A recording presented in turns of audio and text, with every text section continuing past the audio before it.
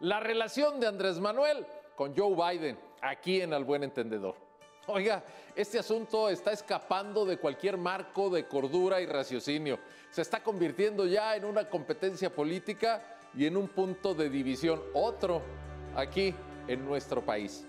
Déjeme darle un dato que sirve como punto de partida para este buen entendedor. El presidente López Obrador advierte en la mañanera, ¿saben qué? No reconocemos, no felicitamos a Joe Biden. Nos queremos esperar hasta que lo definan las autoridades en Estados Unidos. Y no va a haber ninguna repercusión porque nuestro país no es una colonia. Bueno, eso y estirar la liga es lo mismo. Y hay más datos, porque luego los gobernadores de la Alianza Federalista, que como les recuerdo son 10 y están en plena confrontación con el presidente, y aquí hay que introducir el elemento presupuesto 2021, ellos sí admiten a Joe Biden, lo felicitan, le hacen una cartita, se la mandan y además desean que haya un trabajo, una colaboración y un buen acercamiento entre Estados Unidos y México. A ver, vamos por partes. Déjeme recordar un elemento adicional en esta historia que se está complicando de manera gratuita.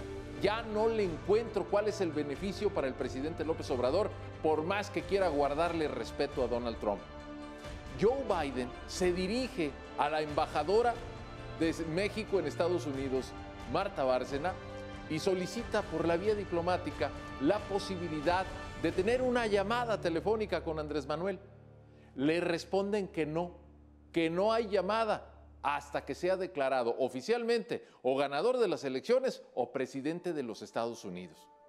Cosa curiosa, quienes sí hablaron ya con Biden son, por ejemplo, el jefe de Estado de Francia, Emmanuel Macron, el primer ministro de Gran Bretaña, Boris Johnson, o el primer ministro de Canadá. Estamos hablando de Justin Trudeau. Es más, hasta Angela Merkel, la canciller y jefa de Estado de Alemania, ya le manda mensajes a Joe Biden. Algo raro está pasando que estamos haciendo una lectura diferente. La embajadora de México en Estados Unidos redactó una carta grande para argumentar por qué no hay un reconocimiento ni comunicación con Joe Biden y puso como pretexto la constitución de nuestro país y nuestro principio inquebrantable de no intervención ni injerencia en pueblos vecinos. El asunto está casi, casi tomando visos de infantil. Ahora le digo que los 10 gobernadores de la alianza feliciten a Biden y no lo haga el presidente, ¿qué puede provocar? En términos diplomáticos, nada porque el jefe de Estado en México se llama Andrés Manuel López Obrador. Él nos representa, no los gobernadores, al menos diplomáticamente.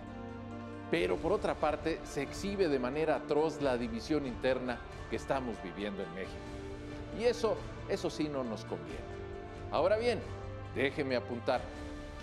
Todo va indicando paso con paso y al correr de los días que no va a haber ninguna sorpresa.